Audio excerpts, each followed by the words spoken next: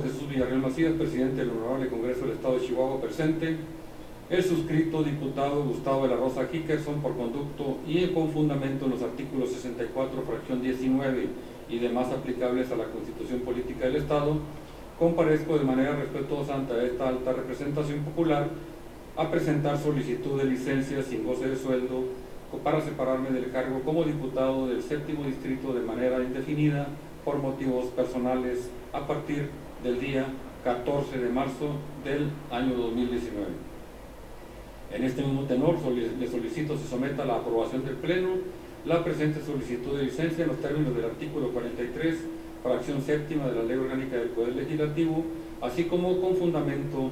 en el artículo 43 de la Constitución Política del Estado, le solicito que sea llamado a tomar protesta correspondiente a mi suplente, el ciudadano Román Alcántara Alvídez, sin otro particular. Por el momento agradezco la atención